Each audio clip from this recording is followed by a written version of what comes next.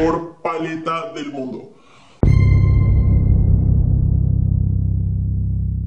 mis amores, como se dieron cuenta por esa intro súper dramática, el día de hoy le vamos a hacer la reseña a estas paletas de Sammy que la verdad tenía mucha curiosidad de probar y ustedes también me dijeron que tenían muchísima curiosidad y les prometo que esto no termina tan mal como empezó, así que sin más preámbulo, vamos a empezar.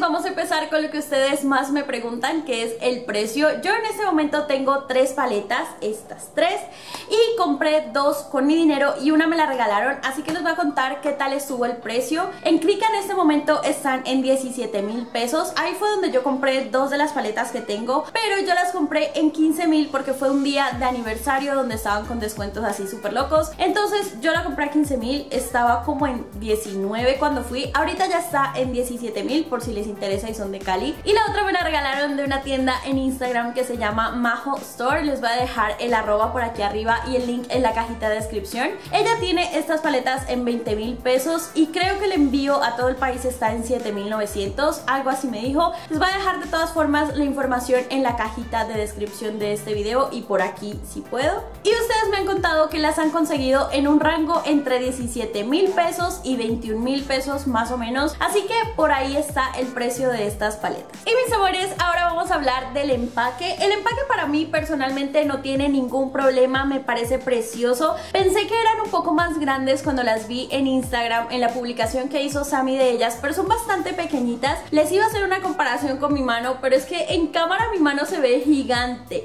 Este video lo intenté grabar ayer y me di cuenta de que mi mano se ve gigante ayer y me sentí un poco mal. Pero bueno, estas paletas son súper pequeñitas, pero son muy bonitas y digamos que el tamaño de las sombras no está tan pequeño, pero tampoco está tan grande. Vienen 12 colores en cada paleta y creo que están muy bien distribuidos de espacio. Está súper compacto, es bastante delgadito del lado. Así que creo que son unas paletas perfectas para llevar de viaje o tener en la cosmetiquera. Realmente el empaque me parece súper lindo, pero se van a dar cuenta que hay algunas inconsistencias cuando lo vayan a buscar. Estos empaques yo los busqué específicamente lindos para poderlos mostrar en cámara, pero ahí me di cuenta que habían unas paletas en las que los cositos estos, no sé cómo se llaman, los de aluminio, donde están las sombras, pues en inglés se dice pan, pero no sé cómo se dice en español, están más elevados en algunas, sea, como que se les ve el bordecito, no está tan pulido, por decirlo así, el acabado del empaque. Hay unas que están más arriba que otras, sobresalen más. Eso me pareció un punto a considerar en caso de que ustedes estén buscando las paletas. Y otra cosa es que hay algunas que en la parte impresa que dice eyeshadow palette están como corridas o borradas. Eso me pareció algo un poquito molesto de los empaques, pero realmente sí fui capaz de encontrar tres empaques casi perfectos. Digo casi porque este tiene una manchita y no lo había notado hasta que lo traje acá, pero de resto están bastante bien. Así que a mí personalmente el empaque de estas paletas me gusta mucho. Y mis amores, este video lo voy a dividir en las tres paletas, desde la que más me gusta a la que menos me gusta, para hacerles una reseña como de cada paleta en particular. Entonces, antes de entrar a esa parte, les voy a contar los cuatro tipos de sombras que identifiqué para poder estar en la misma sintonía cuando les cuente cada paleta en particular. El primer tipo de sombras que identifiqué las nombré shimmer metalizadas, no se llaman así en la colección de Sammy, pero yo le puse metalizadas porque son súper reflectivas, reflejan como un espejo, tienen un brillo súper súper lindo y la verdad son mis sombras favoritas de estas paletas, realmente me parecen preciosas, no tienen nada que envidiarle a otras marcas, las de Jacqueline Hill son súper parecidas, entonces pienso que ese tipo de fórmula en particular compite muy bien con otras sombras que están en el mercado y cada paleta tiene una o dos de ese tipo de sombras en particular. El segundo tipo de sombras que identifiqué en estas paletas les puse shimmer normal porque realmente son sombras normales. Son las sombras a las que estamos acostumbrados en Sammy, son muy bonitas, pigmentan bien, pero no son nada del otro mundo, nada que lo haga decir a uno como, oh por Dios, estoy muriéndome, como las anteriores. Son shimmer normales, muy bonitas, tienen una particularidad y es que me ha pasado con las sombras individuales y con los quintetos anteriores de Sammy y es que esas sombras shimmer hacen como una película encima, o sea, uno las va cogiendo y se sellan en la parte de arriba. Es como si algo se combinara y quedaran selladas y después uno no puede sacar muy bien el pigmento. Eso se soluciona súper fácil, solo agarran una brochita y lo raspan por encima y pueden seguir utilizando el pigmento normalmente. No es algo del otro mundo, pero de todas formas lo quise mencionar porque estas reseñas me gusta que sean un poco más a profundidad.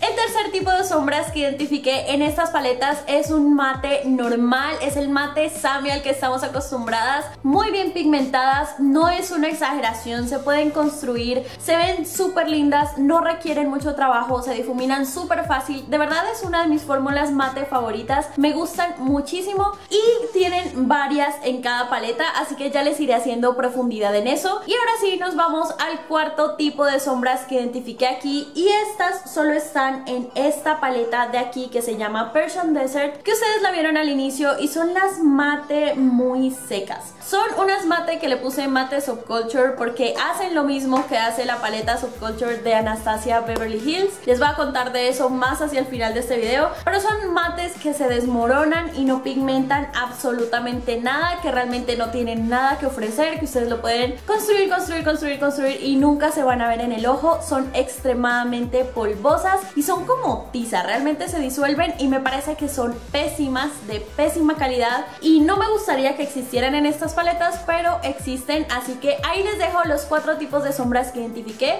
y ahora sí nos vamos al análisis de cada paleta. Y el análisis de cada paleta individual lo voy a empezar desde mi favorita y mi favorita es esta de aquí. Esta está en el tono Arabian Nights, es la cosa más hermosa del mundo, combina con mi fondo, este es mi fondo favorito, no sé si lo han notado porque lo uso en todos los malditos videos, aunque tengo como mil fondos, pero bueno, este color me encanta, o sea, esta familia de colores me encanta, la calidad de las sombras que está aquí adentro me encanta. La única que le encuentro un pero así pequeñito es esta morada brillante de aquí abajo que es un poquito difícil de construir, pero es como el negrito del arroz. De resto está espectacular esta paleta, la calidad de las sombras es increíble y tienen las cosas que a mí me gustan en una paleta. Para mí las paletas tienen que poderse utilizar solas. Por ejemplo la de Jacqueline Hill, pero esa tiene como mil colores. Se puede utilizar obviamente sola, no necesita ningún color de apoyo, ningún tono adicional, no necesitan irse por fuera de la paleta para encontrar algo. Y eso me parece genial de las paletas porque uno se las puede llevar a viajar, se las puede llevar en la cosmetiquera y puede hacerse un look completo, así que para mí es importante que tengan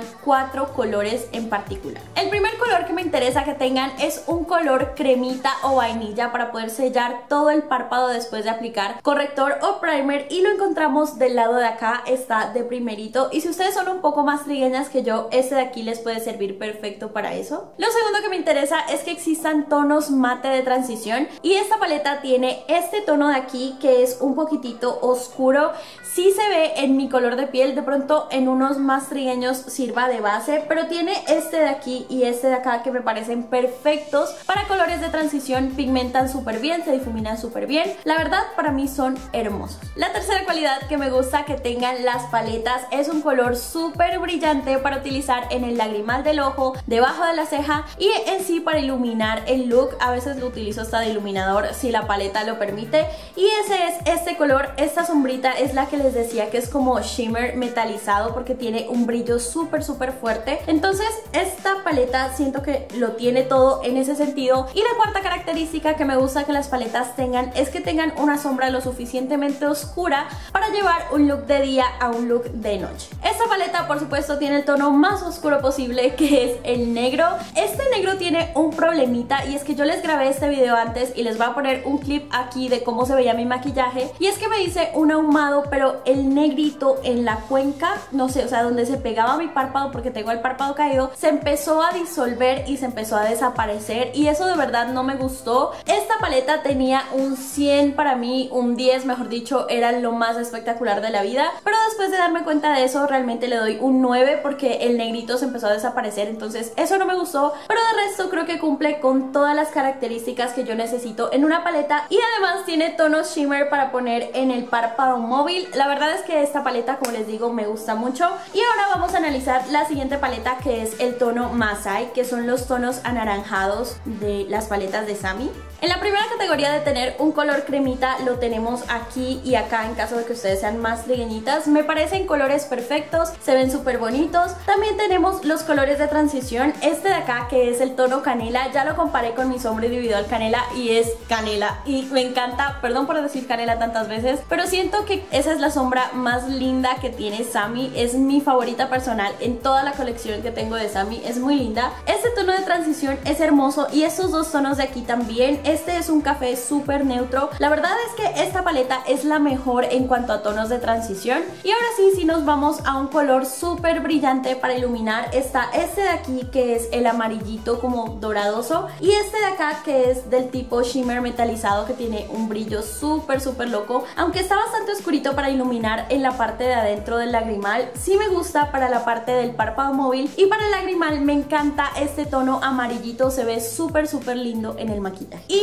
esta paleta falla en la cuarta característica que es que tenga un tono lo suficientemente oscuro para poner en la cuenca y llevar un look de día un look de noche. El tono más oscuro que tiene es este cafecito de aquí que realmente siento que no es un café oscuro como tal. Yo lo veo como un café medio, no me parece lo suficientemente oscuro. Entonces ese es el único pero que le encuentro a esta paleta porque realmente de esta todos los tonos me gustan. No tiene ningún problema realmente, siento que cada sombra individual es hermosa. Así que yo a esta paleta le daría un 8 de 10 solamente porque no tiene un tono oscuro que para mí es importante, pero realmente el resto me parece precioso. Y ahora sí nos vamos a la paleta de mis pesadillas. Este es el tono Persian Desert, es la peor paleta del mundo. No sé si es la peor paleta del mundo, estoy exagerando, pero es que de verdad ah, siento que a esta paleta no la pensaron bien, que pudo ser algo muy lindo, pero realmente no estuvo bien pensada, no está bien combinada, los colores no tienen mucho sentido. Se ve súper linda ahí, pero cuando uno la va a usar realmente no sirve para mucho. Y les cuento que en la primera categoría de tener un tono cremita para sellar em, el párpado móvil, esta no solo tiene uno, sino que tiene tres que son prácticamente los mismos. En las anteriores paletas ven que hay dos opciones, pero este se ve que es mucho más oscuro. En la de acá también hay dos opciones, pero se ve que este es mucho más oscuro, que siento que ayuda muchísimo con los distintos tonos de piel, si la chica es blanca, si la chica es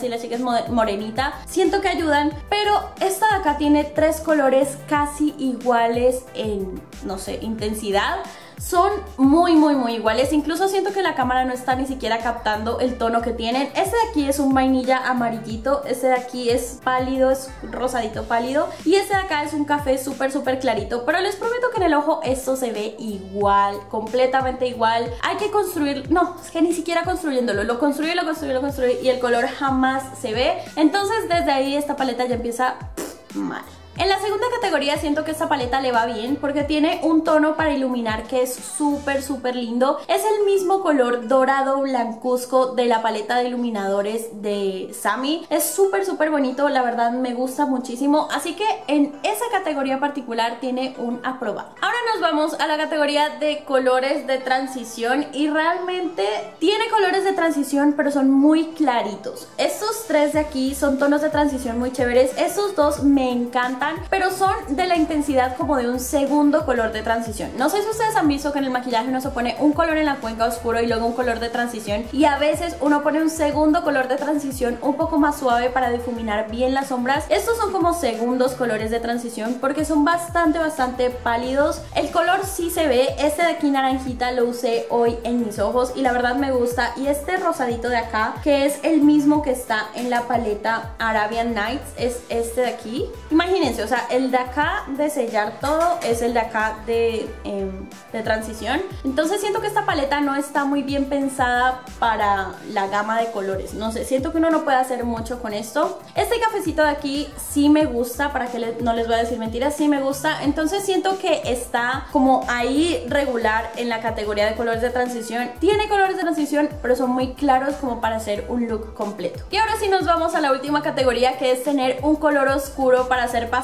un look de día a un look de noche y esta definitivamente no tiene un tono oscuro. Aparte de que no tiene un tono oscuro, no tiene un tono oscuro mate, o sea, lo más oscuro son estos dos de aquí y no son tan oscuros. Entonces realmente no siento que esta paleta tenga mucho que ofrecer. Esta no tiene mi sello de aprobación, me parece terrible. Y como les digo, esta fue la que hizo la cosa rara como la paleta de Anastasia Beverly Hills, la Subculture, que yo pensé que realmente esas cosas no pasaban y que era, no sé, show de la gente para tener en YouTube. Pero realmente sí me di cuenta que pasaban con este tono y el inicial. Pero las otras dos, Masai y Arabian Nights, son la cosa más hermosa del mundo y de verdad que sí se las recomiendo. Son paletas muy muy lindas, versátiles, sirven para todo, se las puede combinar. Como les digo, hoy estuve usando colores de las tres paletas para hacerme este look y la verdad es que me gustó mucho, es muy suavecito, brillante, súper bonito. Así que si ustedes estaban esperando mi reseña sobre estas paletas, les digo que estas dos de acá me encantan, la fórmula está genial, están súper aprobadas, así que yo les diría que si las compren, me gustaron muchísimo. Y bueno mis amores, eso fue todo por el video de hoy. Recuerden que las amo con todo mi corazón y nos vemos en el siguiente video. ¡Chao!